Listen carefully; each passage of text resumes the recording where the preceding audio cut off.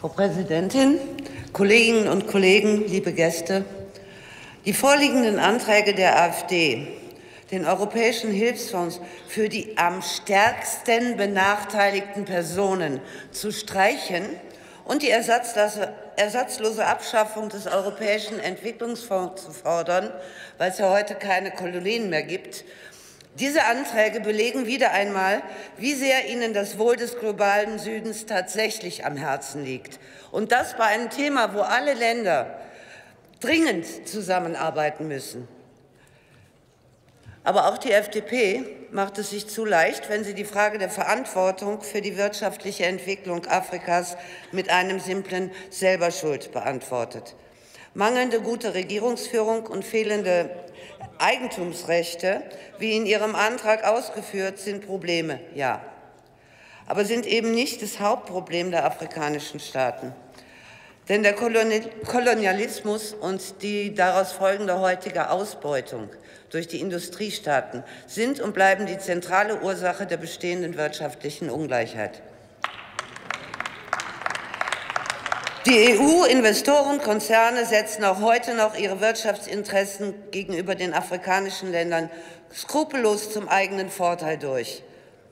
Ohne das zu berücksichtigen, kann man nicht zu einer Verbesserung der Lage beitragen, selbst mit besten Absichten. Nun zu unseren Vorschlägen. Über den Europäischen Entwicklungsfonds betreibt die EU Migrationsabwehr im Rahmen des EU-Nothilfe-Treuhandsfonds für Afrika. Das halte ich ebenso für eine Zweckentfremdung der Mittel wie die Ertüchtigung und Unterstützung von afrikanischen Militärmissionen über die afrikanische Friedensfazilität. Eigentlich verbietet Artikel 41.2 des Vertrags über die Europäische Union jegliche Bezahlung militärischer Instrumente aus dem EU-Budget. Deshalb finanziert die Kommission sie aus Töpfen außerhalb dieses Budgets, wie eben dem Europäischen Entwicklungsfonds. Das ist ein Taschenspielertrick. Das lehnen wir ab. Deshalb ist die Eingliederung des Fonds in den regulären EU-Haushalt überfällig, weil nur dadurch das Europäische Parlament sein Recht auf Haushaltskontrolle ausüben kann. Statt immer mehr Mittel in Militäraufbau und Aufrüstung umzuleiten, müssen wir uns dringend auf ursprüngliche Ziele und Werte der Entwicklungszusammenarbeit besinnen. Die EU muss sich endlich mehr auf die Armuts- und Hungerbekämpfung in den ärmsten Ländern konzentrieren. Hier sind die Mittel in den letzten Jahren leider rückläufig. Wir halten es auch für falsch, auf eine immer engere Zusammenarbeit mit der Wirtschaft zu setzen. Solange es keine verpflichtenden ökologischen, sozialen und menschenrechtlichen Mindeststandards für internationale Unternehmen gibt, steht mehr Privatwirtschaft nicht automatisch für eine Verbesserung des Lebens der Menschen im globalen Süden. Leider bremsen das Kanzleramt und Wirtschaftsministerium die Ansätze des BMZ in dieser Frage aus. Mehr Abstimmung und Zusammenarbeit im Sinne der Nachhaltigkeitsziele und dem gemeinsamen Ziel Leave No One Behind ist hier dringend geboten.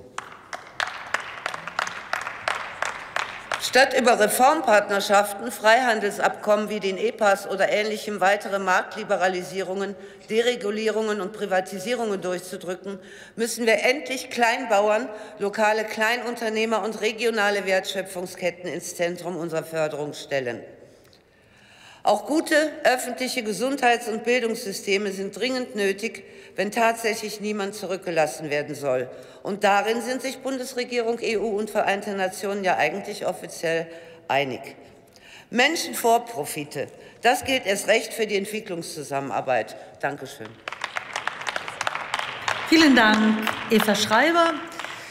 Nächster Redner in der Debatte, Uwe Kickeritz für die Fraktion Bündnis 90 Die Grünen.